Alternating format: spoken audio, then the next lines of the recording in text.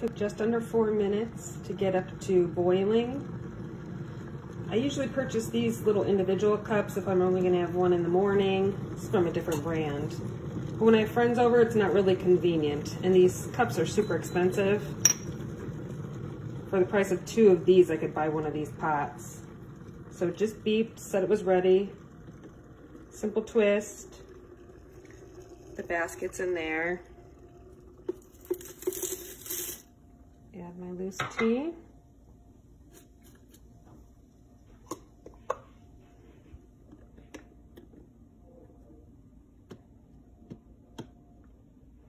Few things I like about this pot is that it has a heating base.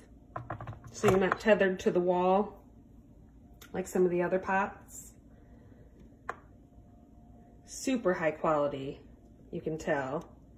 Even when it comes to the lid, there's a little silicone rim that makes it fit snug so you don't risk this falling off with the hot stainless steel basket attached. It says food grade stainless steel basket. But yeah, you can see, already getting some wonderful hibiscus tea. I like that it allows you to adjust the temperature. Um, I make a jasmine green tea all the time, which requires a lower temp than regular black teas. Um, I do have a pretty fancy Keurig, but there's no way to adjust the temperature on that. It just has a tea setting or a hot water setting, so um, that's why I went with this.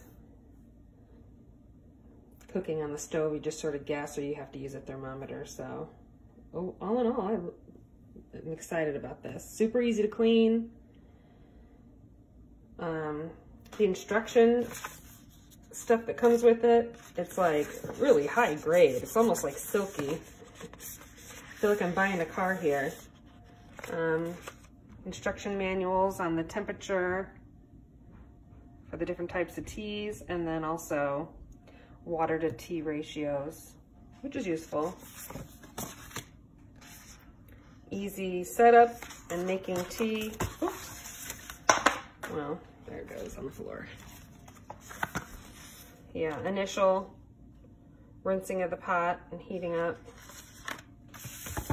So there you go. It's pretty good unit.